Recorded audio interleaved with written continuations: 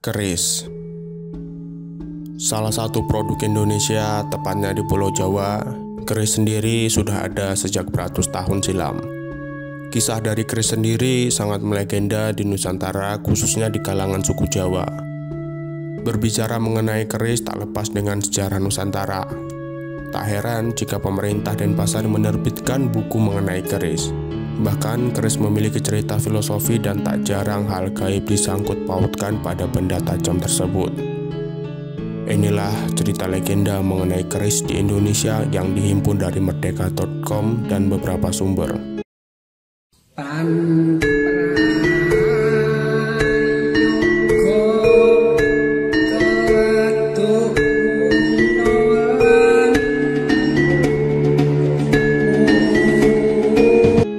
Keris empu gandring. Keris tanpa sarung dan berbentuk setengah jadi ini sejarahnya tak lepas dari berdirinya kerajaan Singosari di Malang. Keris ini dibuat oleh empu gandring atau empu gelar untuk pandai yang logam yang sangat sakti. Atas pesanan Ken Arok, salah seorang tokoh penyamun. Ceritanya, belum sempat Empu Gandring menyelesaikan sarung keris Ken Arok sudah meminta keris dan membunuh Empu Gandring. Empu Gandring sempat mengeluarkan kutukan bahwa keris tersebut akan meminta korban nyawa tujuh turunan dari Ken Arok. Hal inilah akhirnya membuat keris ini hanya menyimpan misteri dan keanehan. Mulai dari pamor keris yang konon bisa mengeluarkan cahaya biru hingga kutukan yang memakan korban jiwa. Korban jiwanya biasanya dari kalangan elit kerajaan. Setidaknya dari sejarah diketahui bahwa keris ini terlibat dalam perselisihan dan pembunuhan elit kerajaan Singosari, yakni terbunuhnya Tunggul Ametung, Ken Arok, dan Anusopati. Dan sejak terbunuhnya Toh Jaya, pemimpin kerajaan Singosari saat itu, keris Empu Gandring hilang dan tidak diketahui sampai saat ini. Keris pusaka, keris naga sosro, dan sabu inten. Dua benda keris ini merupakan peninggalan zaman kerajaan Majapahit. Keris pusaka Luk 13 ini bertahtakan emas. Keris ini terdapat pada masa pemerintahan Prabu Brawijaya V Pembuatannya adalah Pangeran Empu Sedayu atau Empu Supa Mandagri atau Empu Pitrang. Nama Krishna Kososro menjadi terkenal karena menjadi topik dalam cerita silat karya S.H. Mintarja. Dalam cerita silat tersebut diceritakan bahwa Mahesa Jenar, salah satu muridnya Syekh Siti Jenar, mantan perwira tinggi kerajaan Demak pada masa kerajaan Demak Bintoro mencari kedua benda pusaka tersebut yang konon bagi siapa saja mendapatkannya akan menjadi pewaris sah tahta kerajaan Demak. Keris pusaka setan kober Keris pusaka setan kober dibuat oleh Empu Supo Mandrangani, putra seorang empu di Tuban, Jawa Timur.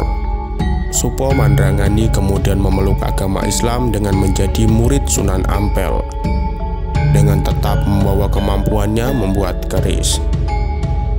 Keris pusaka setan kober aslinya bernama Bronggot Setan Kober, dibuat pada awal kerajaan Islam Demak Bintoro.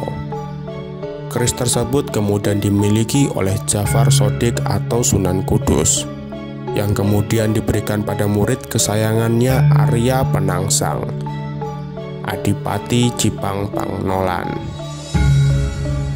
Legendanya keris pusaka setan kober sangat ampuh, tapi membawa hawa atau pembawa panas, sehingga yang membawa keris tersebut akan mudah marah. Sifat pemarah Arya Penangsang disinyalir karena hawa pusaka keris tersebut. Keris ini digunakan Arya Penangsang pada waktu dia perang bertanding melawan Suta Wijaya. Sampai saat ini bentuk dari keris ini tak diketahui seperti apa. Ada yang menyebutkan bahwa keris ini sengaja dimusnahkan karena telah banyak membunuh orang-orang penting pada masa lalu. Jika tidak dimusnahkan, dipercayai bahwa keris ini akan membawa sial, sebab dianggap telah haus darah. keris condong campur. Dalam sejarahnya, Kerajaan Majapahit meninggalkan banyak jenis keris pusaka.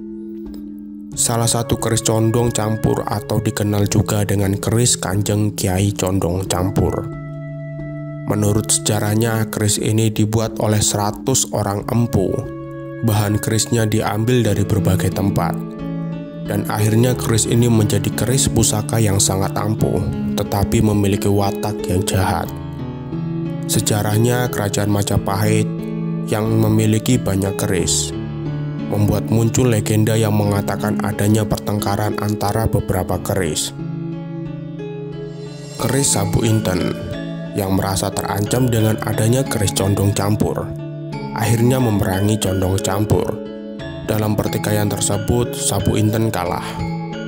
Sedangkan keris Songkelat yang juga merasa sangat tertekan oleh kondisi ini akhirnya memerangi Condong. Hingga akhirnya Condong campur kalah dan meleset ke angkasa menjadi lintang kemukus atau komet atau bintang yang berekor dan mengancam akan kembali ke bumi setiap 500 tahun untuk membuat huru hara yang dalam bahasa Jawa disebut ontran-ontran. Keris ini panjang bilahnya berbentuk sedang dengan kembang kacang. Satu lambe gajah, satu sogokan di depan, dan ukuran panjangnya sampai ujung bilah. Sogokan belakang tidak ada. Selain itu, keris ini juga menggunakan gusen dan lis-lisan.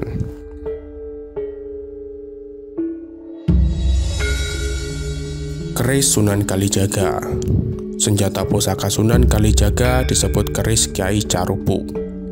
Pembuat keris ini adalah Empu Supa Mandrangki, ahli keris dari kerajaan Majapahit yang hidup di sekitar abad ke-15.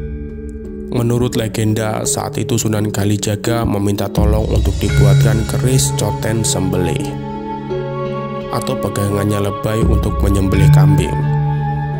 Lalu oleh beliau diberikan calon besi yang ukurannya sebesar biji asam jawa. Mengetahui besarnya calon besi tersebut, Empu Supa sedikit terkejut. Dia berkata, besi ini bobotnya berat sekali, tak seimbang dengan besar wujudnya, dan tidak yakin apakah cukup untuk dibuat keris. Lalu Sunan Kalijaga berkata, kalau besi itu tidak hanya sebesar biji asam jawa, tetapi besarnya seperti gunung. Karena perkataan Sunan Kalijaga tersebut, pada waktu itu juga besi menjelma sebesar gunung. Akhirnya Pusupa mengerjakan pembuatan keris. Saat keris jadi, Sunan Kalijaga menjadi kaget karena kagum. Hasil keris itu berbeda jauh sekali dengan yang ia maksudnya. Maksud semula untuk dijadikan pegangan lebay, ternyata yang dihasilkan keris asli Majapahit, Luk 17, karena berwarna kemerahan. Keris itu dinamakan Kiai Sengkelat artinya bersemu merah. Sedangkan jumlah luknya yang berjumlah 17 melambangkan jumlah rakaat salat lima waktu. Tadi itu adalah kisah pusaka keris yang sangat fenomenal pada masanya. Jika mempunyai kesalahan dan kekurangan, Mimin minta maaf. Sampai jumpa bertemu di video selanjutnya.